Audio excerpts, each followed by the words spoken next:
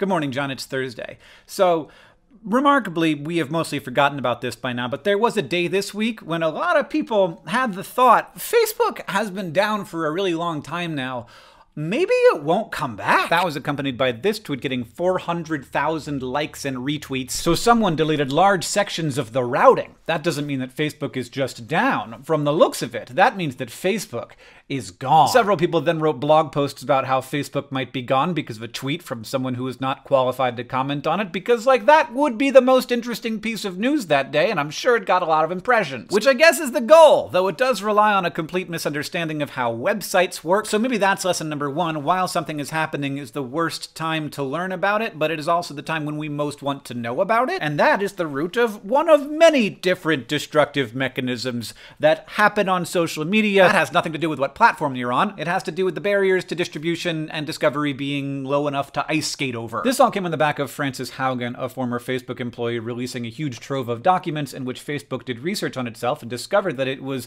you know, not great research that it then promptly ignored and kind of hid. So Facebook's no good, very bad week gave us a chance to think, uh, what if it didn't exist? But actually, a lot of people really do depend on Facebook to maintain their businesses, their social lives, their families, their connections with people in other countries who they love. I'm just saying maybe don't go to the people who are gleefully celebrating to be the ones who have the best insight on this topic. But I do think it's important to engage in a thoughtful way with the existence of Facebook, the impact of Facebook, hence this very long educational video, which makes it exempt from the four minute Vlogbrothers rule. Now, I have over the years been vocally critical of Facebook for a number of different reasons, so you might expect me to just like launch out with how bad and evil it is. Oh, it's just a fun little social network that undermines the foundations of our democracy and lets me know when my dad is done building the debt. Why would those two things be put together? I don't know. When Justin Timberlake was bringing sexy back 15 years ago, when I was a full fledged adult, Facebook was only available to high school and college students. Now it is the sixth most valuable corporation in the world and possibly the most influential corporation ever. Like, yes, there have been newspaper monopolies that controlled the news, there have been energy monopolies that controlled energy, there have been telephone monopolies that controlled long distance communication, but Facebook might know more about you than you do. Like, their internal research has shown that they can affect people's moods. They can decide whether to inform or misinform you. They can help a community thrive. They can make a community stop existing. And they can do that not just with like 60,000 people, like the size of Missoula. They do it with billions billions of people. You start thinking about this too hard and you realize that Mark Zuckerberg might be the most powerful person to exist, which is like not a super comforting thought. Facebook has a lot of power. Like a, a, coalition of European politicians on both sides of whatever they have, I guess an aisle, probably do they have an aisle? They wrote to Facebook and they said, Your platform is forcing us into more extreme positions than we want to have, and maybe even that our constituents want us to have, because in order to get elected, we have to play the attention and engagement game that you have set up for us. Now, you might say, well, those politicians should have some spine and do what they want to do rather than what, like, the mass of people on Facebook want them to do. But let's all accept together that a politician's incentive is to get elected. And if they don't engage in the attention game and someone else does, they don't get elected, and then that person is in power. Look, it's easy to not be sympathetic toward politicians, I get that, but I am also very aware that there are probably a lot of people who would be very good public servants who are not ever going to consider taking on that line of work because of the environment that the social internet has created. These platforms make life miserable for every politician who is not a garbage human.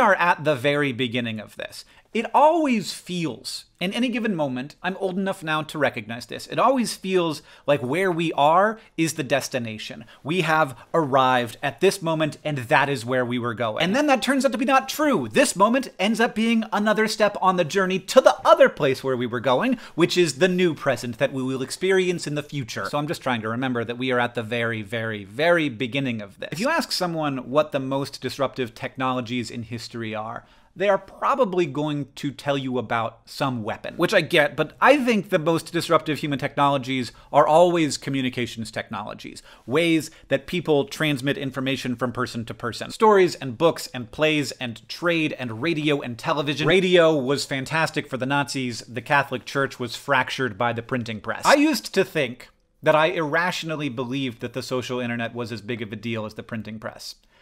I now believe that that is 100% a rational belief. in fact, it feels like a common belief now. And so, if we are at the beginning of this, and it is a huge revolution in like the main human thing, which is human to human communication, then like it shouldn't be a surprise that we're bad at this. And we're bad at this. I'm sorry if you work at one of these companies, but we need to accept this. Facebook and Twitter and TikTok and YouTube are bad at this. And you watching this are bad at it. And I, making this, am bad at it. Of course, we're bad at it. It's revolutionary and it's a baby. We have no systems for how to deal with many to many decentralized communication. It's brand new. We don't know what we're doing. So, as with apparently everything, uh, we have to figure it out. And that means that some, not all, but some thoughtful people need to engage with it in a serious way.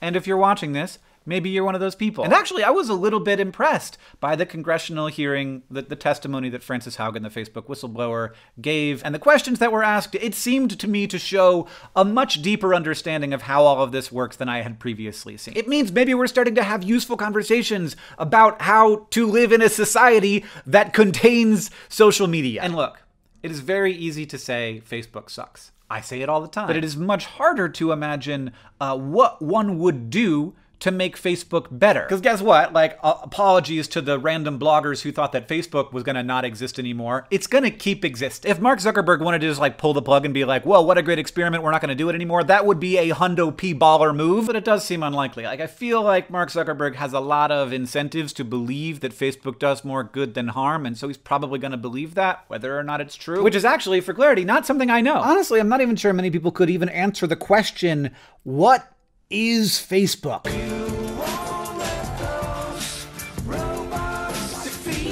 let's try and build a mental model of what Facebook actually is. I'm not saying it's going to be perfect, but I am saying that it's probably going to be better than whatever jumble of hot takes you currently have associated with your Facebook neuron. Facebook, simplified, there are three centers of power. There are the people who consume the content, the people who create the content, and the people who host and promote the content. That third one is Facebook this finger. I'm not flicking off Facebook. All three of these groups have different goals, but it turns out that their incentives align really well, which is how Facebook became worth a trillion dollars. So let's go over the incentives. Let's try to understand why these people are all doing what they're doing. Starting with the people who create the content. They are trying to make their numbers go up, whether that is for status or for money. And trust me when I say, uh, watching the numbers go up can feel really good. And once you start to get them, it can take a whole lot of time and work to start divorcing your self worth from your internet numbers. Facebook needs to incentivize the creation of content on its platform because without that, there's nothing there for people to do. And so they provide a lot of different feedback mechanisms that make people feel good about the stuff that they make, that make people feel like they are acquiring status, and very occasionally that they are getting revenue. Next, let's talk about the people who consume the content, which is to say, everyone. And let us all accept that we, as people who consume content, have incentives for what content we consume. We like good cats. We like good jokes. There are a number of different incentive cycles here, but the ones that we tend to talk about and need to talk about most are the ones that are destructive to society or to people who are consuming the content. And the number one emotion everyone talks about when talking about this is outrage. And I would like us to stop talking about outrage because I don't know what it is. Instead, I would like to talk about two other things. One is fear. People, when they are afraid, uh, experience a lot of emotion and they experience a lot of desire to share that information and and try and take on that thing that they are afraid of. Which like we knew about that. I mean, we knew about that before social media. Like news was always aware of fear. But the second thing that social media is very good at that we often call outrage is actually a feeling of righteous superiority. I feel really good about myself because I know that I am better than whatever other human I have just been exposed to or told about. Feeling like a good person who is specifically good because they are better than someone else, super seductive. Because it means you don't have to do anything to be good. You get to feel better about yourself just by looking at how awful other people are. But it is not new. Like, I don't want to point fingers or anything, but it turns out that righteous superiority was a pretty big deal for Martin Luther. And also, people are often correct in their righteousness and in their superiority. Like, hello, vegans. And finally, the last player in the game, the platform itself. Their incentive is, or at least was, very clear keep people on the platform, learn more about them so you can sell more advertisements at a higher price. And so there's a positive feedback loop where platforms will promote content that makes people feel righteously superior. Those people will consume that content, they will feel righteously superior. More people will create that content because it will do better, because the platform will promote it more. And there's also external positive feedbacks into the loop because if you have a group of people feeling righteously superior, other people find out about them and then they make themselves feel righteously superior to that other group because they don't want to feel inferior. I don't want to oversimplify this, but like if you run this positive feedback loop for about 10 years, maybe you end up with everyone spun up like a bunch of Beyblades thrown into a fishbowl full of fragile institutions. There are also other feedback loops, which is why there are cute cats and good jokes on all of these platforms. But hopefully this gives us a workable mental model of what Facebook is, and we can move to the next section of the video. We've got these three power centers, and two of them are extremely dispersed and difficult to control. Like, no one is able, no one is able to control what people are posting and consuming on social media platforms. But the third one is centralized, and it's making $85 billion a year. So that makes it a more attractive target, both in terms of optics and also in terms of something you can actually control for regulators. You might have even seen or heard Facebook kind of begging to be regulated, which sounds strange. Here, for example, is the end of a statement that Facebook made in response to Frances Haugen sharing all this information about the platform. Despite all this, all this being the fact that they don't agree with anything she said, we agree on one thing. It's time to begin to create standard rules for the internet. It's been 25 years since the rules for the internet have been updated, and instead of expecting the industry to make societal decisions that belong to legislators, it's time for Congress to act. This is a good point. Like, it's a good talking point. It's also just a good point, but let me explain why you're going to be hearing a lot of it and why it might not be as good as it sounds. This is Facebook saying, okay, I see that you think that we've created a lot of problems. How about you fix them? Are we going to give you advice into how to fix them? Nah. Are we going to give you insight that will allow you to understand the platform well enough to create good solutions? also nah. They're basically saying, okay, I see I see what you're doing. You're saying that we're the big bad and the responsibility's on us. We're saying, what about you? We think you're the big bad. The responsibility should be on you. And maybe it should. Right? Like, should Facebook's responsibility be to like impose things that control society, or should that be the job of legislators? But this outlines a really good and interesting point, which is that Facebook is actually, with regards to this stuff, not like anything else, they're doing fine. With regards to this stuff, they're kind of in a terrible position. So a company as big and powerful as Facebook can kind of have one of two goals. It can either be out there for profit, or it can be out there for profit and. And what and is gets really complicated when you are as powerful as Facebook. And I think maybe this conversation kind of terrifies them because it outlines a reality that they would like us to not notice. They are not just a place where content goes. They decide what people see. They make millions of decisions per second about the world that people experience. And it is very easy to make those decisions when you have a particular goal. That goal being, how do we keep people on the site longer, learn more about them so we can sell them more effective advertisements. And then you can start to put on some little limits, like if this is going to incite violence, if it's hate speech, we're going to take that off. Uh, but that's just about the law and like what what the right thing to do is. But if you get beyond that, and you start to say, okay, well, sort of what counts as hate speech? What counts as incitement to violence? And raising up the barriers higher and higher and being like, ah, that's on the line, but we're going to call it incitement to violence.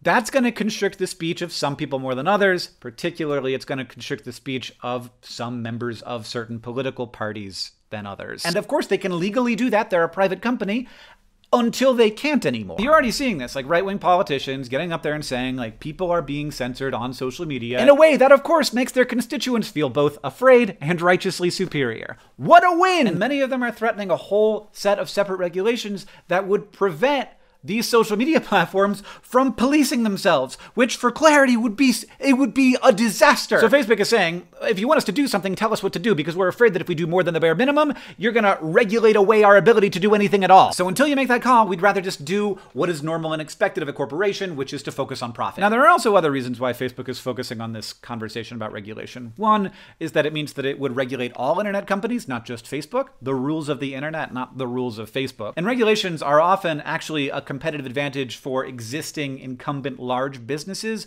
over potential competitors because the regulations increase the barrier to entry into that industry. I'm not saying I'm anti regulation on these companies, I'm very pro regulation on these companies. I'm just not so pro regulation on these companies that I will ignore reality. But the last and maybe most important reason why Facebook is calling for regulation on itself is that then they get to go after the individual actual pieces of legislation, like the individual suggestions, which they will, of course, do. Like, yes, please regulate us, but then any individual regulation they will fight against tooth and nail. And yes, it is a lot easier for a legislator to just like yell about how much Facebook sucks than to actually write legislation that would make it better. Especially when regulation is complicated, whereas shouting that Facebook sucks can make them and their constituents feel, wait for it, righteously superior. None of this regulation would be easy because, yes, legally, Facebook can control its product in whatever way it wants to, but let's accept that it's not just a private corporation in that way anymore. Like we don't want it to be able to control society in whatever way it wants. And that that is why they're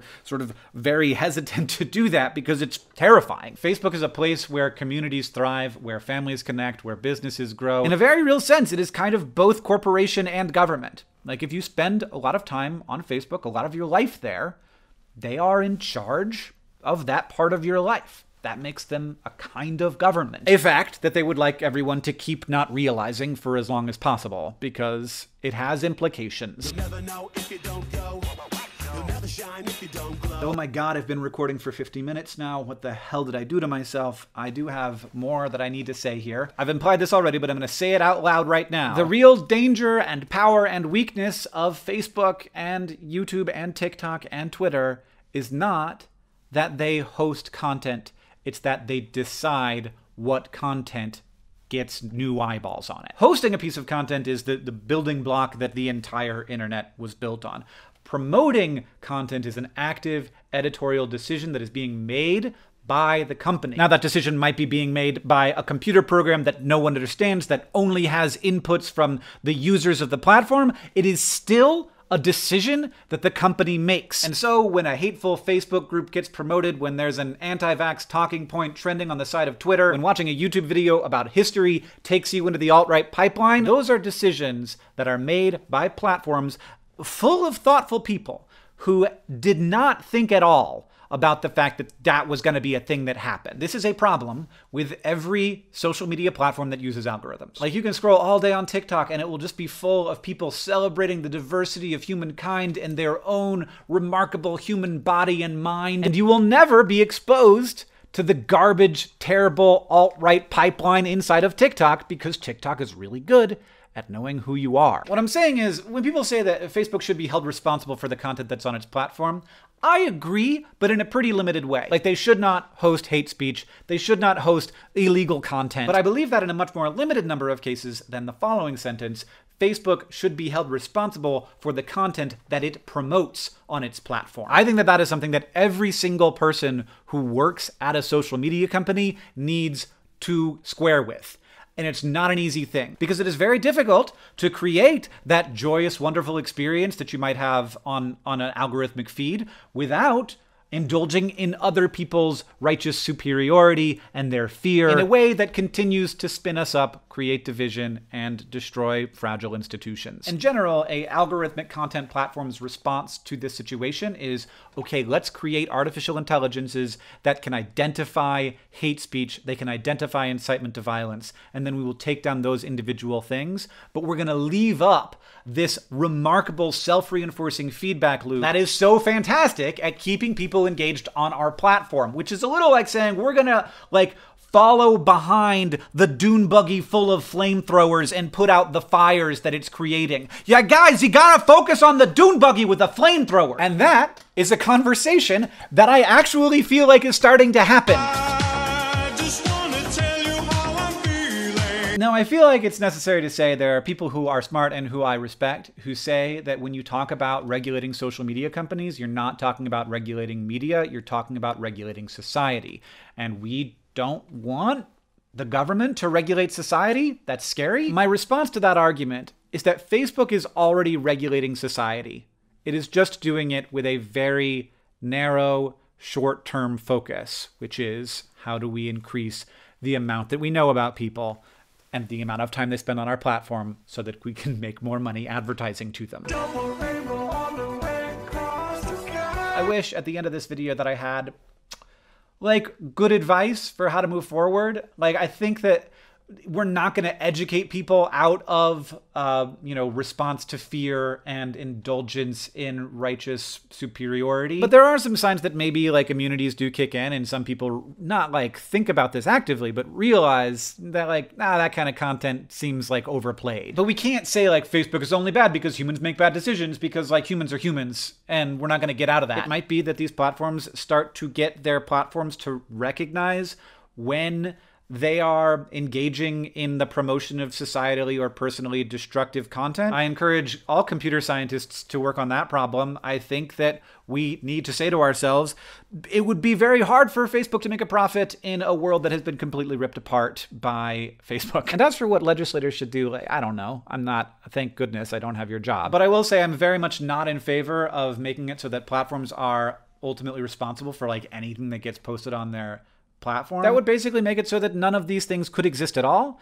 But I am in favor of saying that they are responsible for what they promote on their platforms because that is their decision. I don't know if the world would be better without this many to many decentralized communication system that we have developed. I know my life would be very different without it. But I will reiterate something I said earlier, which is that we are at the very, very beginning of this of course, we are bad at it. We're going to look back in 20 or 30 years at the way things are right now, and we're going to think about how quaint and clunky and just hilariously bad it was. I don't know how we're going to move forward from here, but I know that we will. John, I'll see you on Tuesday. All of our lovely Pizzamas stuff is available only during Pizzamas, so for the next week or so, and then it will never be available again. None of it will ever be available again. You can go to pizzamas.com right now to check it out. All the profits go to support our community's work developing better healthcare systems in Sierra Leone.